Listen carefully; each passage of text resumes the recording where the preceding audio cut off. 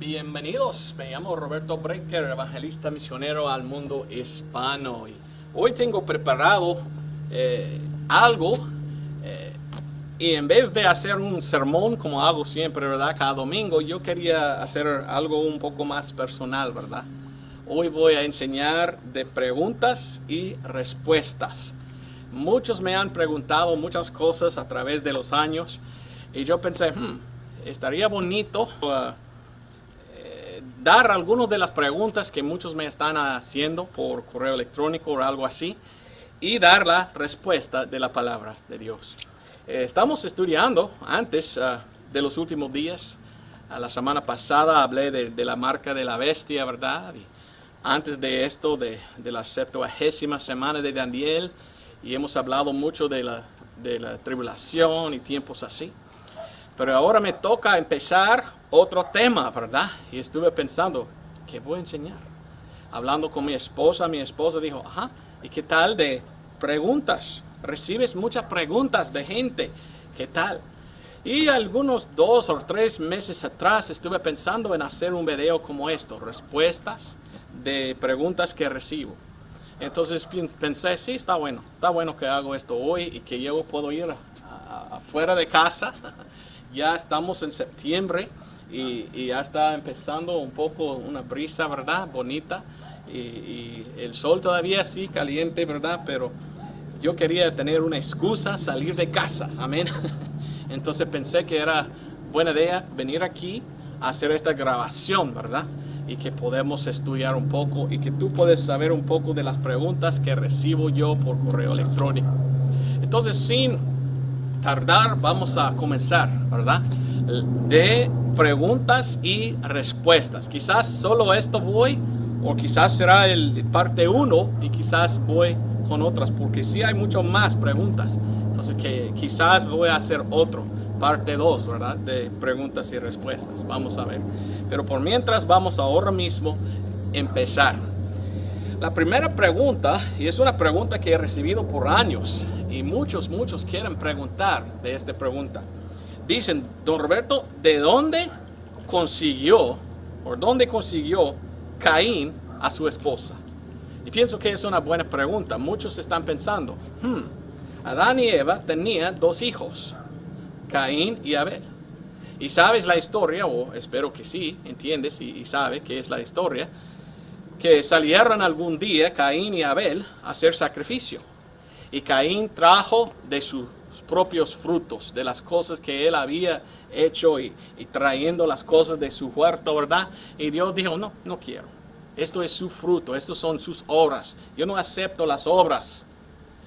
Y ahí estaba Abel. Y Abel estaba pensando, qué gran pecador que soy. Dios solo acepta y da perdón a través de un sacrificio de sangre. Entonces Dios ofrezco a este cordero, esta, esta oveja, y Dios aceptó la ofrenda de Abel, no, la ofrenda de Caín. Y ya sabe la historia, o espero que sí, ¿qué pasó? Caín mató a su hermano Abel. Y por esto cayó el castigo de Dios sobre él, y él estaba echado fuera. Y él tenía que ir como vagabundo, ¿verdad? Y, él tenía que salir. Entonces la Biblia habla de él y dice que él tenía una esposa. Y muchos preguntan, pero no entiendo, no había una mujer, no había nadie en aquel tiempo, sino Adán y Eva y los ambos, dos. Entonces, ¿cómo podías conseguir Caín una esposa? Bueno, vamos a leer, porque la Biblia dice que sí conseguía, él consiguió a una mujer. Y en Génesis capítulo 4, versículo 16 hasta 17. Mire lo que dice. Dice aquí la palabra de Dios, y salió Caín de la presencia del Señor y habitó en la tierra de Nad, Nod, al oriente de Edén. Y conoció Caín a su esposa, la cual concibió y parió a Enoch. Y edificó una ciudad y llamó el nombre de la ciudad del nombre de su hijo Enoch. Entonces claramente la Biblia enseña que sí conseguía él a una mujer. Pero ¿de dónde? Muchos están preguntando, ¿de dónde? Si no había. ¿Ok? La Biblia nos enseña la respuesta. En Génesis 4, versículo 25. Génesis 4:25, mire lo que dice la palabra de Dios. Dice, y conoció de nuevo Adán a su esposa, la cual parió un hijo y llamó su nombre Set, porque Dios, dijo ella, me ha dado otro simiente en lugar de Abel a quien mató Caín.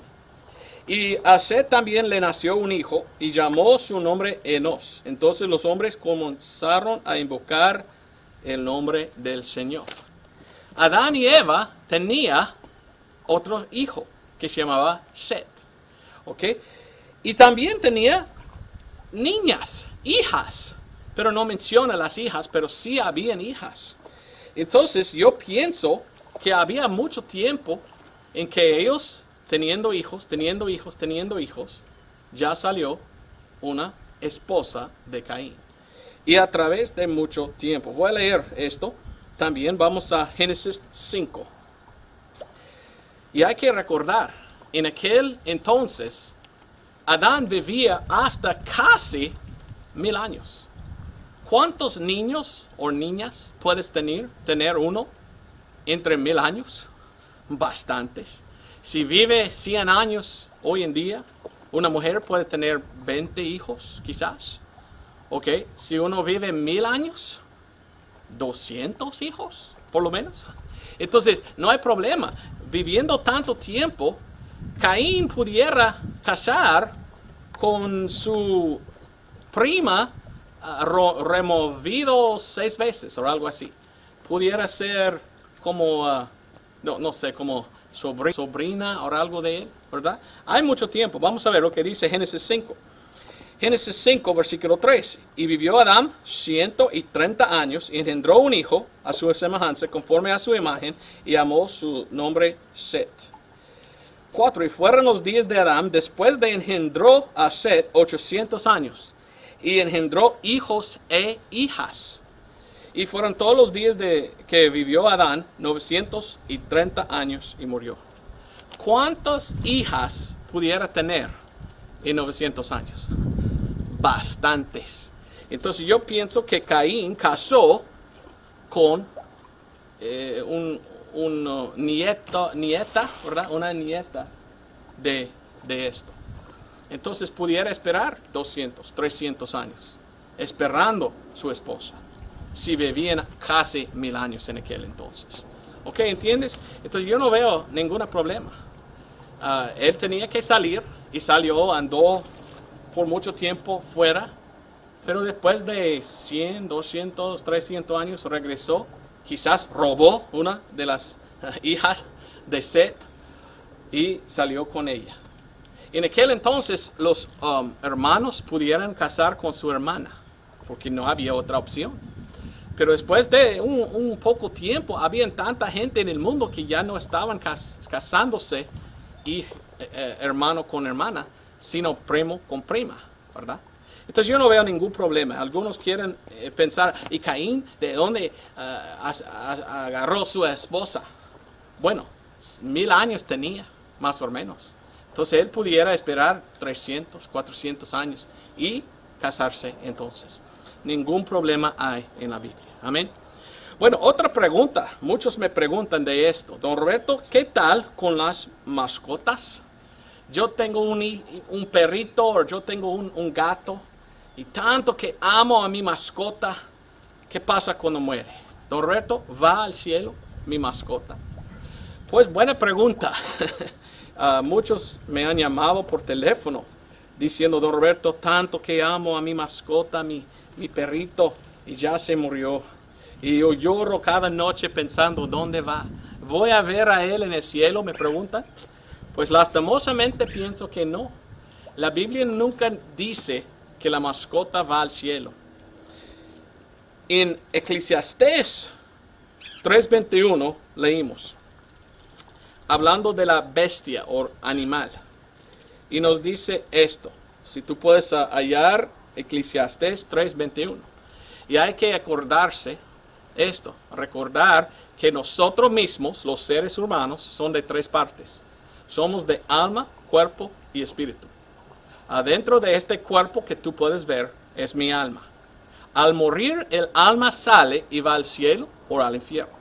Soy salvo, tengo el Espíritu Santo dentro de mi espíritu, entonces yo voy arriba cuando muero. Pero ¿tiene alma el animal?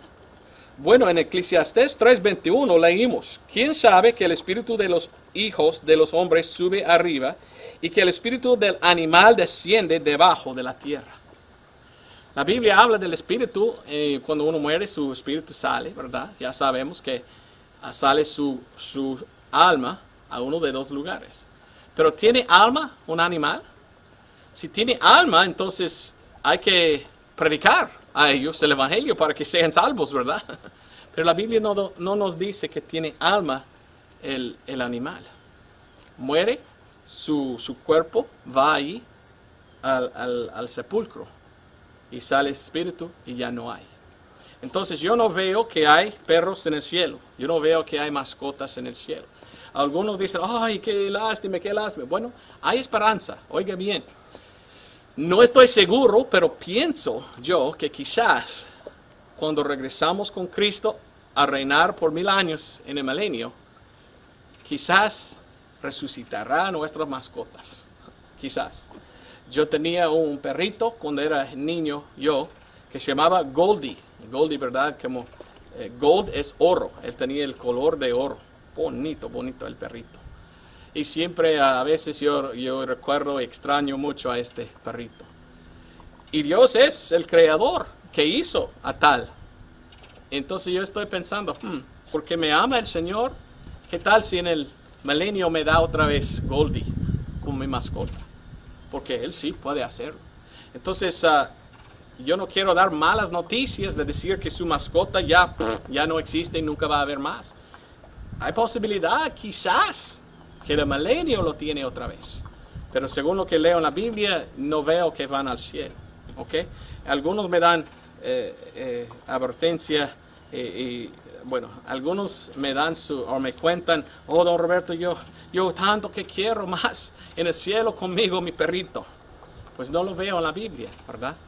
Veo que, que ya va cuando muere, ya va, ya va. Yo tenía un gato, era mi favorito gato. Está ahí, más o menos por allá, enterrado debajo de aquel árbol. Se llamaba Bluffy. Bluffy era mi gato más favorito. Oh, cuánto que me gustaría tener Bluffy otra vez. Pero como le digo, no tiene alma, entonces no va a entrar al cielo.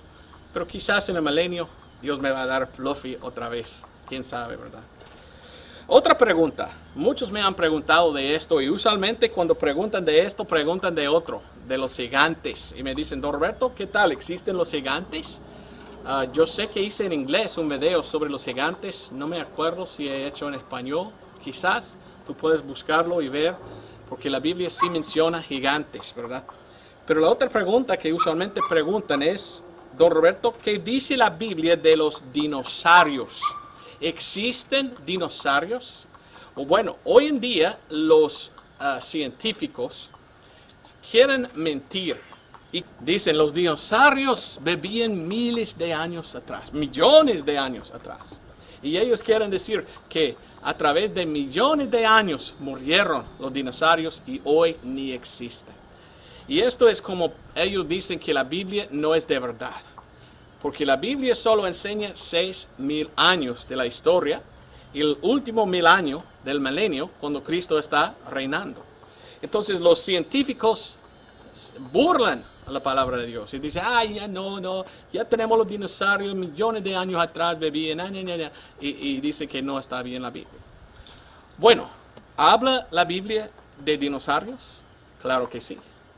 Y nos enseña la palabra de Dios que no había millones de años. Es imposible. Ah, habían encontrado huesos de dinosaurios y pudieron sacar de ahí DNA o ADN, DNA en inglés, ADN. Y todavía está ahí y dentro de esto. Si habían millones de años, ¿cómo pudiera pasar que todavía pudieran sacar ADN? No, la Biblia dice que solamente seis mil años. Y yo veo claramente dinosaurios en la Biblia. La palabra dinosaurio fue inventado en el año 1800 algo. Antes de, de esto, esta palabra fue dragones. Y en la Biblia King James, la palabra dragón sí viene en la Biblia. La Biblia habla de dragones. ¿Y cuáles son los dragones? Dinosaurios. Nosotros sabemos las leyendas, ¿verdad? De eh, gente buscando dragones para matar. Yo pienso que no fueron mitos. Yo pienso que realmente habían hombres que mataban a cosas así. Porque existieron. Y la Biblia habla de dragones. Por lo menos 16 veces. Reptiles. ¿Sabes qué es un reptil? Los científicos dicen que un reptil nunca para de crecer. ¿Okay? Hemos hablado de Adán y cómo él vivía mil años antes del diluvio de Noé. Imagínese un, un, uh, iguana, ¿verdad? O algo así. Si él tenía casi mil años de crecer, tan grande será. Y uno va a mirar uno tan grande va a decir, uy, un dinosaurio va a decir. Entonces yo veo claramente que en la Biblia hay lo que se llaman dinosaurios. Y hasta que tienen dos otros nombres, los que son los dinosaurios. Uno es eh, Mot. Vamos a ver Job. El libro de Job, capítulo 40. Job 40. Y mire lo que dice aquí en Job 40. Yo veo a uno en Job 40. En Job 40, versículo 15, miramos. Y aquí ahora, Behemoth, ¿ok? Behemoth es un nombre de un dinosaurio. Y lo que está explicando aquí es uno que parece como un brontosaurio. ¿Sabes qué es un brontosaurio? El, el, dinosaurio más grande con, el, eh, con su cuello grande que va por arriba y con este eh, cola que va allí es el más grande. Es el animal más grande que había existido. Brontosaurio en inglés Brontosaurus. Pero él está hablando de algo que parece igual que esto. Mire lo que dice. Y aquí ahora Behemoth, al cual yo hice contigo hierba como come buey. Y aquí ahora su fuerza está en sus lomos y su fortaleza en el ombligo de su vientre. Su cola mueve como un cedro. Un cedro es un árbol, un tronco bien grande alrededor. ¿Cuál animal en el mundo tiene una cola con, como tronco de cedro? Sino un brontosaurio. Y ahí más, más dice que, que sus huesos, versículo 16, son fuertes como latón y sus miembros como barras de hierro. Versículo 19, Él es la cabeza de los caminos de Dios. Es, es el animal más grande que hay. ¿De qué habla aquí? pienso que ah, habla claramente del dinosaurio, brontosaurio. Y vivía siempre con los hombres. Entonces yo veo que aquí habla más de esto, ¿verdad? Dice que los árboles sombríos lo cubran con su sombra, los sauces del río del cerque. Es un animal que vive en un río. Ah, había un hombre que entró en África, en, el, en, el, en la selva Conga, Congo, ¿verdad? En el Congo y habló con los nativos allí y mostró una foto de un dinosaurio. Esto era en el año 70, 80. Y los nativos, ¿verdad? ¿Cómo se llaman ellos los nativos, verdad? Ah, dijeron, oh, esto sí hemos visto, este animal, ya vivo. Y el hombre dice, no, millones de años atrás vivía este brontosaurio. No, no, no, Moquile en Membe. No, él sí vive. Mi, abuelo mató uno de estos y nosotros comimos. Hasta hoy viven todavía los dinosaurios. Pero muchos no quieren que la gente entienda y saben de esto o sepan de esto. Yo fui a Alaska a ver a mi mamá, visitando a mi mamá cuando era enfermera, enfermera allí. Y nosotros fuimos a la biblioteca en Nome, Alaska. Y tenían muchas fotos. Y yo tomé mucho tiempo mirando a cada foto.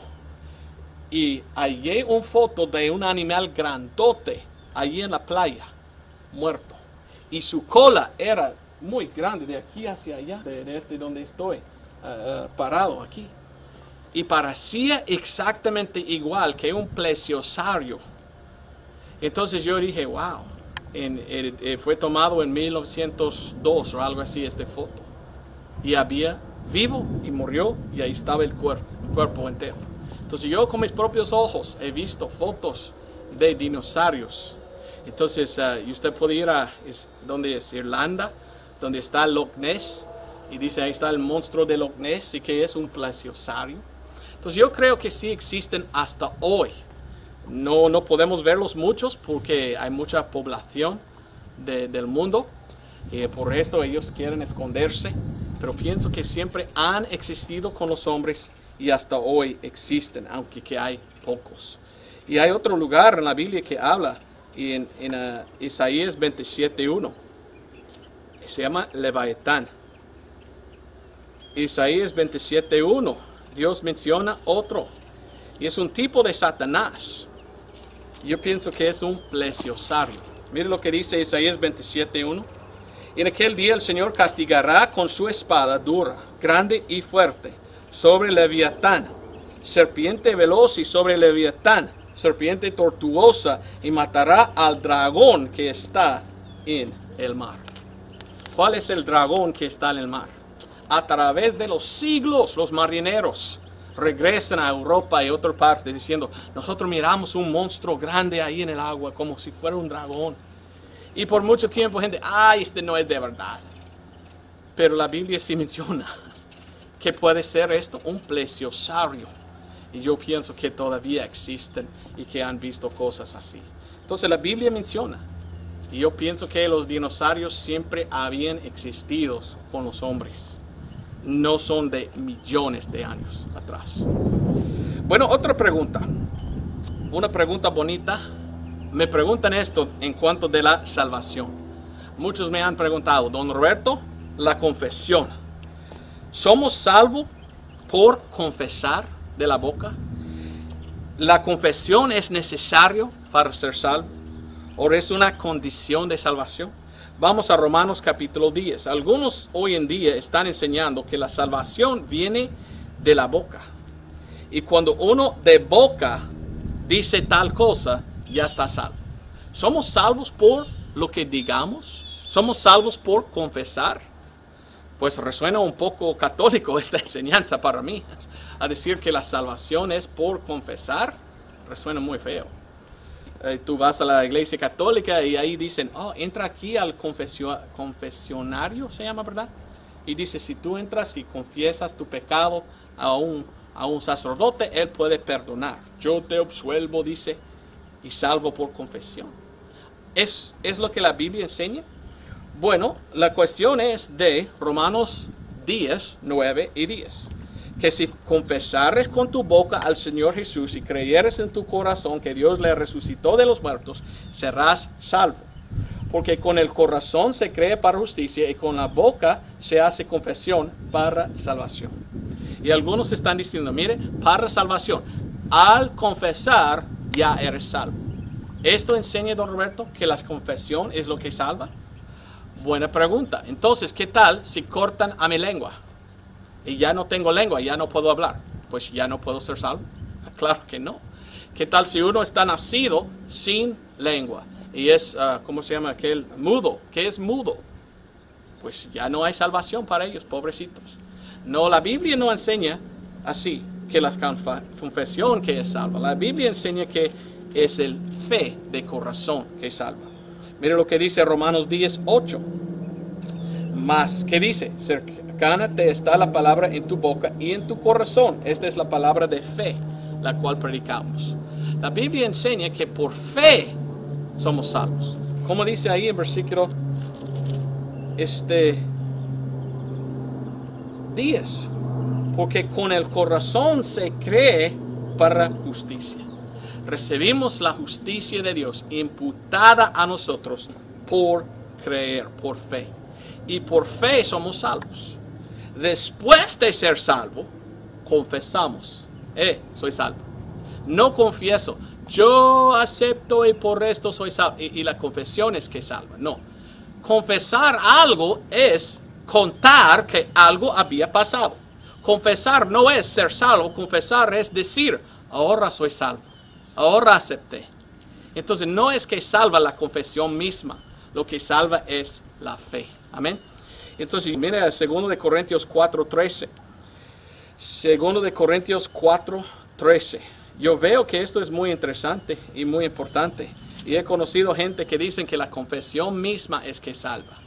Entonces ellos dicen que si tú dices de la boca algo, eres salvo. Pero ¿qué tal si solo dices de boca, pero no confía de corazón?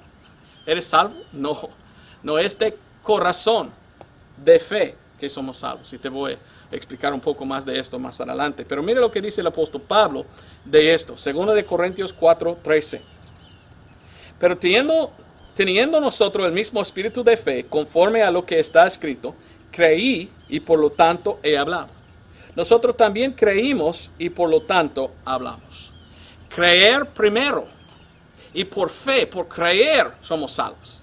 Y cuando somos salvos, después hablamos. Después confesamos. Mire, soy salvo. No es la confesión misma que nos salva.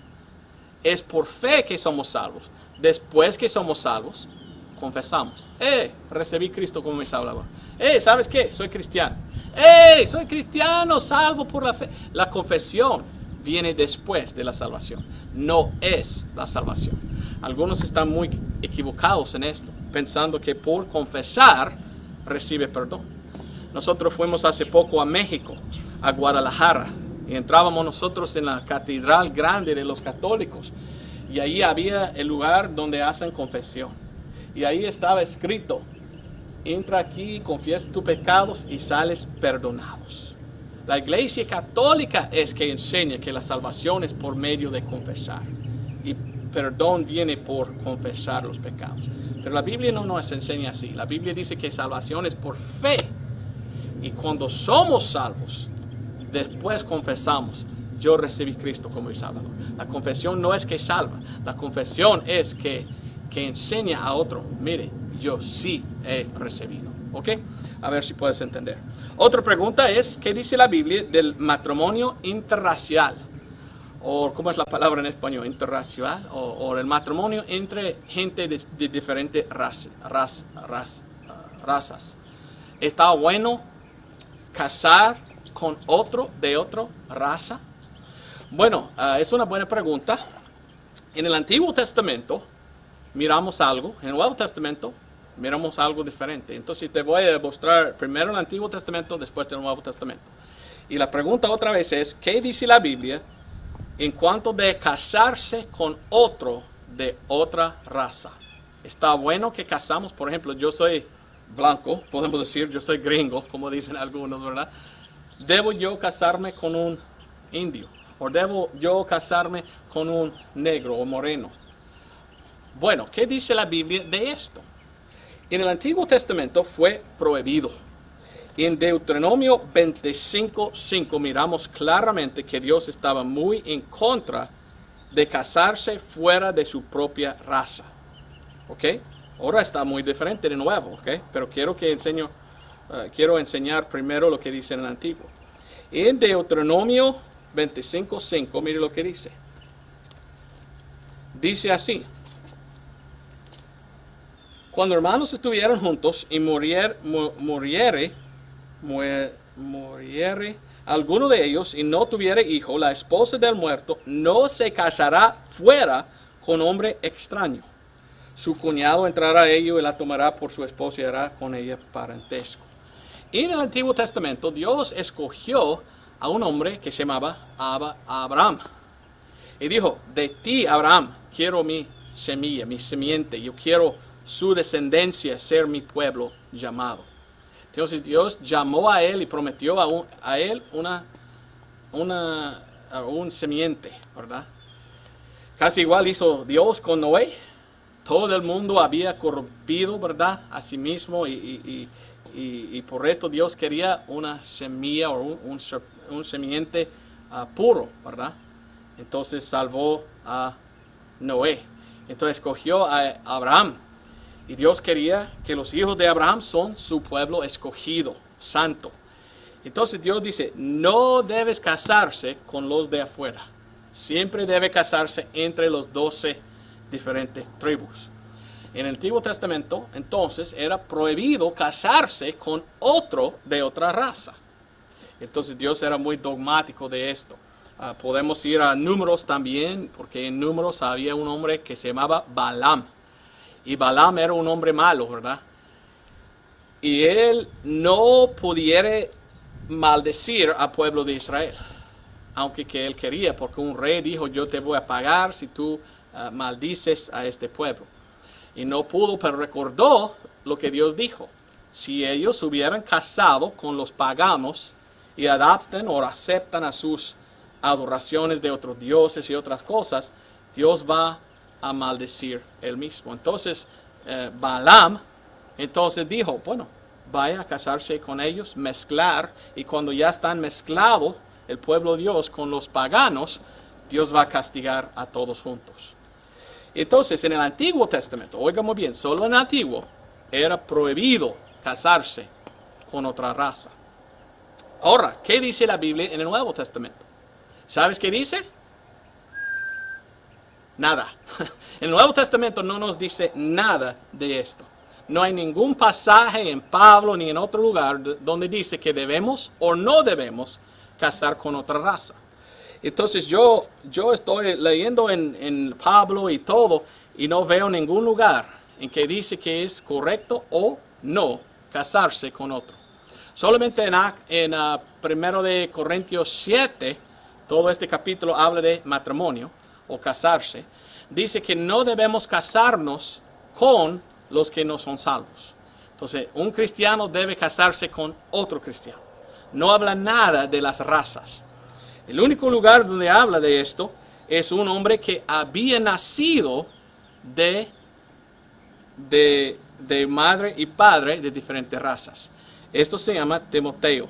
En Actos 16.1 leímos, y vino desde Derby y Listra, y aquí, aquí estaba ahí cierto discípulo llamado Timoteo, hijo de una mujer judea, creyente, mas de padre era griego. De este daban buen testimonio los hermanos que estaban en Listra y en Iconio. Entonces había Timoteo. Ya tenemos dos libros de Pablo escritos a este mismo hombre. Primero y segundo de Timoteo. Timoteo era uno, su mamá era judío y su papá era gentil. Yo imagino que esto hizo muchos problemas para él, porque los judíos odiaban a los gentiles y los gentiles odiaban a los judíos y casi nunca se mezclaron, porque ni querían el uno al otro. Y sabemos esto por la historia, ¿verdad? Que habla de esto. Hasta hoy los judíos no quieren nada con los gentiles. Entonces él fue nacido de los dos. Yo imagino que él tenía que sufre mucho en su vida porque los gentiles le miraron como medio y, los, no, no, le aceptaban los judíos porque era mezclado. Pero no habla más nada esto de esto, sino que él mismo era muy bueno, muy bueno hombre. Entonces, ¿qué dice la Biblia de, casarse con otra raza? Nada, nada, no existe ningún pasaje que dice que sí o que dice que no. Solo que se casamos entre otros cristianos. Ahora, yo fui a Honduras, en aquel tiempo fui soltero y fui a Honduras como misionero. Yo he, tenido en mi vida cuatro novias y gracias a Dios, uh, gracias a Dios que no casé con ellas. Ah, yo puse un anillo, y, pero cada uno dijo, ya no quiero a ti. Y me dejaron. Y estuve muy, muy, triste, pero aprendí a través de aguantar esta angustia lo que Dios quería que tengo yo como mi esposa. Y yo escribí un libro, lo que la Biblia dice de casarse y, divorcio y casarse de nuevo. Tú puedes ir a mi página antigua, rrb3.com, y ver mi libro ahí, como dice la Biblia de casarse y todo esto. Y aprendí mucho. Y yo salí como misionero a Honduras. Y muchos me dijeron, Don quizás puedes casarse en Honduras con una, con una india, ¿verdad? Y casarse con una mujer de ahí. Y estuve pensando, bueno, ¿quiero hacer esto yo o no? Entonces yo pensando en esto, leyendo la Biblia, yo decidí, yo quiero casarme con uno de los Estados Unidos, casi igual que yo. Entonces esperé, esperé, esperé, ah, empecé a escribir a lo que es ahora mi esposa y casé con ella y estoy muy feliz. Ella es gringa como yo, ¿verdad? No es pecado casar con otro de Honduras, pero mi deseo personal era casar con alguien de mi misma nacionalidad. Y esto es lo que hice. Entonces, para mí, yo no quiero casarme con otra raza, pero no soy racista. Es mi propio deseo. ¿verdad? Cada uno tiene sus deseos y no es pecado casar con quien quiere casar uno, ¿me entiendes? Y para mí es muy triste porque hay otros que dicen, Roberto Brecker es racista porque él no quiere casar con los indios. Ah, no, no, yo estaba orando y pidiendo a Dios enviarme la mujer que él desea que caso y caso con ella. Entonces yo pienso que Dios me dio a ella y doy gracias a Dios de esto. Y nunca digo a otro, tú no puedes casar con tal persona. Solo pido que lean la Biblia y si se casan, que están casados como creyentes, ambos, y que aman uno al otro, y que han pedido, pedido a Dios, Señor, que sea su voluntad que estamos casados. Bueno, no más voy a decir de esto, ¿verdad? Pero es muy triste aquí en inglés. Hay gente que atacan y dicen, Roberto Brecker es un racista. ¿Por qué? Porque no casé con una mujer de, de Honduras. Yo no puedo entonces casar con quien quiero. Yo quería casar con Laura y lo hice. Y doy gracias a Dios que Él me envió a ella. Yo no odio a la gente de Honduras. ¿Cómo pudiera ser yo misionero por casi ocho años en Honduras si yo odiaba a esta raza? No lo odio. Amo a todos iguales. Amén. Pero yo pienso que es muy triste que hoy en día hay gente que dice, si tú no casas con otra raza, tú eres racista. No, yo puedo casar con quien quiero. Amén. Y yo no estoy en contra de casar con otra raza, ni digo a otro que no debes hacerlo. Es su asunto. Pero después de haber estudiado yo mismo de la Biblia, yo mismo pensé, yo quiero uno como yo. Y doy gracias a Dios que Dios me envió una mujer de los Estados Unidos y que estamos casados y estoy muy feliz con mis niños y todo. Tú puedes casar con quien desea, ¿verdad? Es su asunto. Entonces le digo esto. Bueno, otra pregunta es, ¿cuándo vendrá el rapto? Algunos están pidiendo, don Roberto, ¿cuándo vendrá el rapto? Bueno, eh, ya pasó el 11 de septiembre. Muchos estaban pensando, el 11 de septiembre será el rapto porque el 11 de septiembre es este, fiesta de tabernáculos y la última trompeta tocarán y todo esto.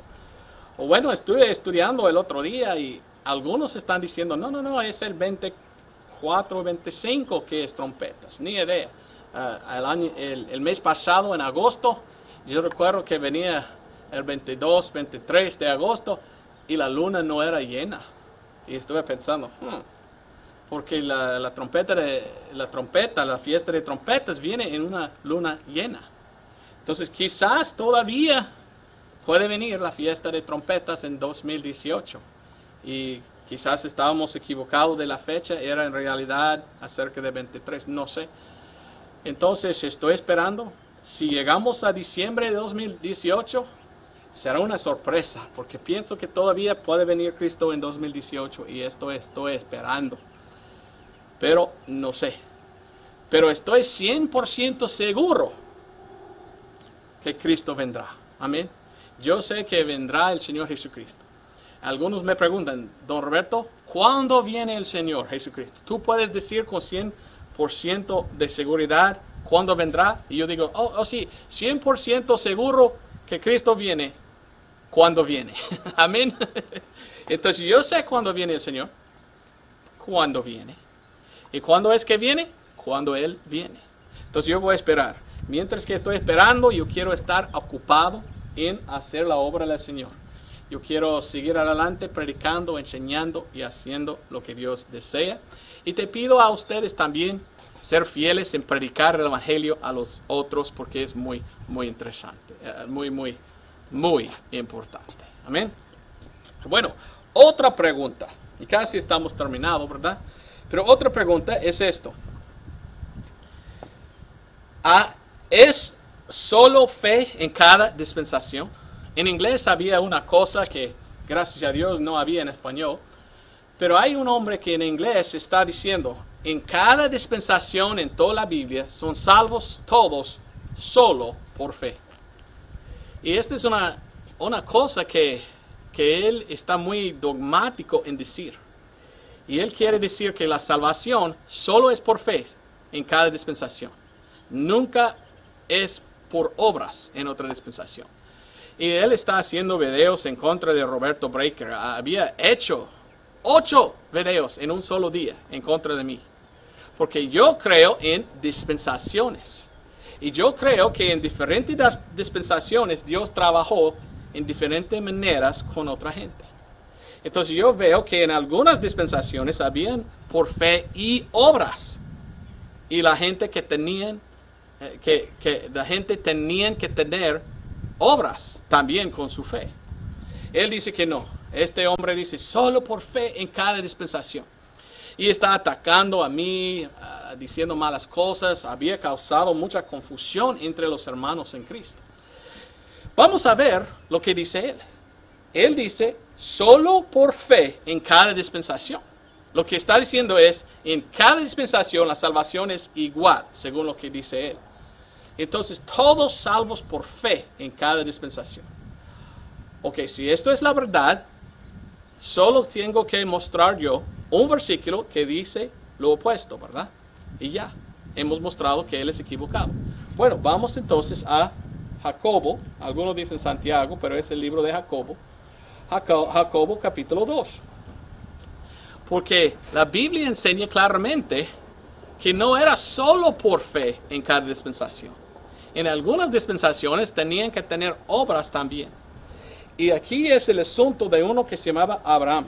Mire lo que dice el apóstol Santiago o Jacobo. Solo voy a leer un solo versículo. Jacobo 4:24. Vosotros pues veis que por las obras es justificado el hombre y no solamente por la fe. Aquí él dice, solamente por la fe en cada dispensación. Aquí tenemos uno que no solo por fe, sino por fe y obras. Ahora, esto no es hoy en día, porque hoy en día es solo por fe. Pero en otro tiempo era por fe y obras. Y en el asunto, en, en este ejemplo, de Abraham era por fe y obras. Entonces, para mí es muy triste que este hombre es tan dogmático, atacando solo por fe, cada dispensación, y ni está enseñando lo que la Biblia enseña. Lo que él había hecho es, él encontró la verdad de hoy, hoy solo por fe, gracias a Dios. Pero él está llevando el Evangelio de hoy y tratando a poner en cada dispensación lo que es de hoy, solo por fe. Y no funciona. Bajo de la ley tenía que hacer obras y fe. Ah, Abraham, fe y obras. Y en la tribulación, fe y obras. Entonces, es una persona que está causando, a causa división entre los hermanos. Diciendo una cosa. Y el dicho que siempre usa él es, fe solamente en cada dispensación. Y la Biblia misma dice, no, no en cada dispensación. Hoy sí, solo por fe. Pero aquí está Abraham, fe y obras. Entonces, cuando uno es así, pues debemos dejarlo, ¿verdad? Porque no está obedeciendo, no está leyendo la palabra de Dios. Y para mí es muy triste que él está tan ah, dogmático y quiere combatir, quiere causar disensión entre el cuerpo de Cristo. Es muy triste. Pero para que sepa, ¿verdad?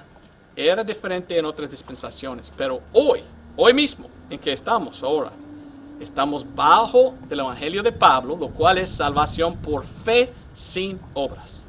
Y gracias a Dios. Entonces estamos de acuerdo, él y yo, de hoy. Pero él quiere pelear sobre cómo fuera en otras dispensaciones. Ya no estamos en otras dispensaciones, entonces ¿para qué importa? Nada. Pero este hombre quiere atacar. Bueno, déjalo, pues. Entonces, yo solo quería mostrarle un solo versículo que muestra que uno que dice así no sabe lo que dice. No es de la Biblia lo que está enseñando. La última cosa que quiero ah, decir, la última pregunta es esto. ¿La salvación de hoy es por fe o es por guardar la ley? Algunos me han preguntado, don Roberto, ¿cómo somos salvos hoy? ¿Por fe? ¿Solo por fe? ¿O es por guardar la ley también? ¿Es fe y obras hoy? Bueno, según la palabra de Dios, hoy, en esta dispensación, en el tiempo en que vivimos ahora mismo, antes del rapto, la salvación solo es por la fe y nada más, no por obras. Efesios 2, 8, 9 dice, porque por gracia sois salvos por la fe. Y este no de vosotros, pues el don de Dios, no por obras, para que nadie se gloríe. Hoy no es por obras. Tito 3, 5. Doy gracias a Dios que nosotros vivimos en este, esta dispensación. Tito 3, 5 nos dice, no por las obras de justicia que nosotros habíamos hecho, mas por su misericordia nos salvó por el lavamiento de la regeneración y de la renovación del Espíritu Santo. Hoy salvo por fe, no por la ley. A Romanos 10:4 dice que Cristo es el fin de la ley para todos que creen. Por fe soy salvo, no por obras hoy en día. Gracias a Dios. Vamos a Gálatas 2:16. Hoy en día Pablo nos dice que ninguna obra nos salva. No somos salvos por obras ni por fe y obras. Somos salvos solo por fe. Y Gálatas 2.16. ¿Por qué quiero decir esto? Porque hay muchas denominaciones hoy que dicen que son cristianos, que dicen, no, tú tienes que guardar la ley para mantener la salvación. No, la Biblia dice salvo solo por fe.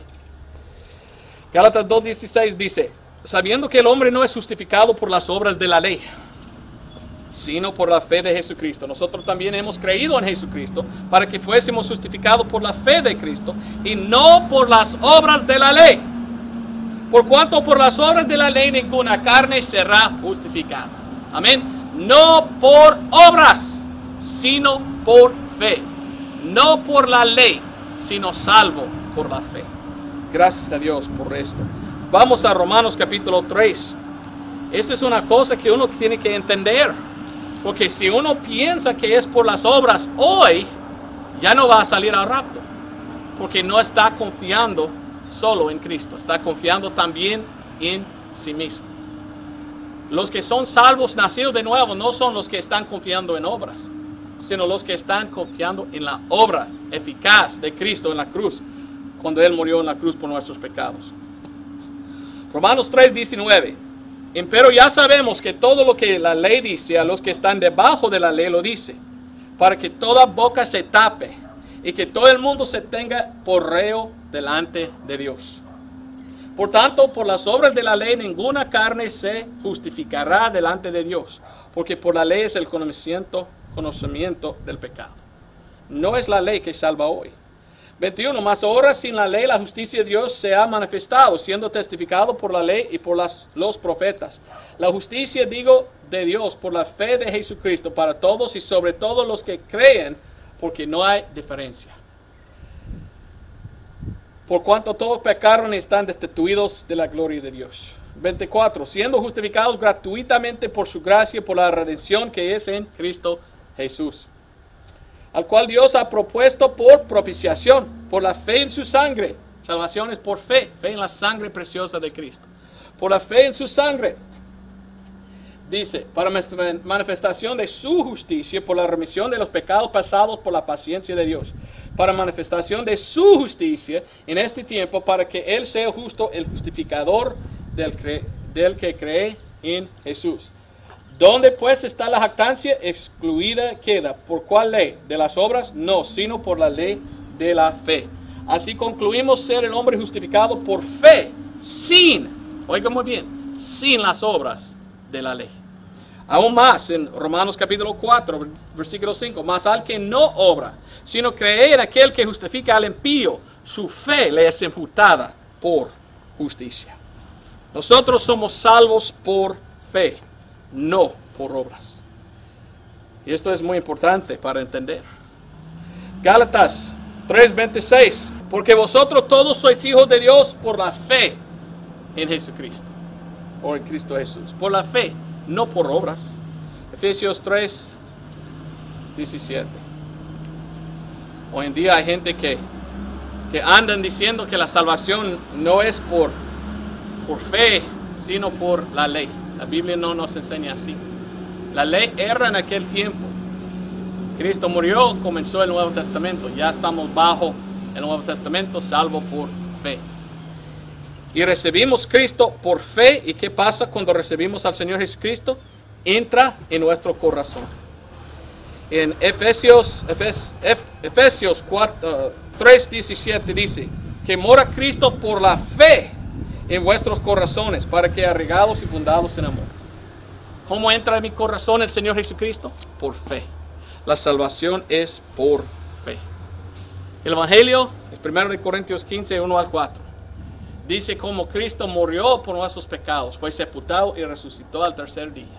Y que la salvación o ser salvo es por fe, por creer en lo que Cristo había hecho por nosotros. ¿Qué hizo el Señor? Derramó en la cruz su sangre y murió por nuestros pecados. Y la Biblia dice, por la fe en la sangre derramada podemos ser salvos. Espero que fue una bendición. Si tú eres salvo, gracias a Dios. Si no, hay que venir a Cristo para ser salvo. Muy importante, porque el rapto es muy cerca. Y quiero que vas conmigo. Bueno, hermanos, entonces aquí están algunas preguntas y respuestas. Como le digo, quizás esto es parte 1, quizás voy a hacer parte 2 más adelante, no sé. Pero hay otras preguntas que me dan.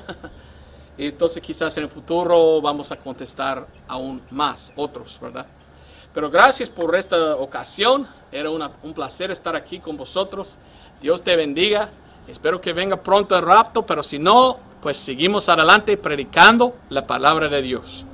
Y te pido también hacer lo mismo repartir folletos, hablar con sus vecinos, su familia, sus amigos, enseñándolos del Evangelio y cómo ser salvo. Pues Dios te bendiga. Adiós.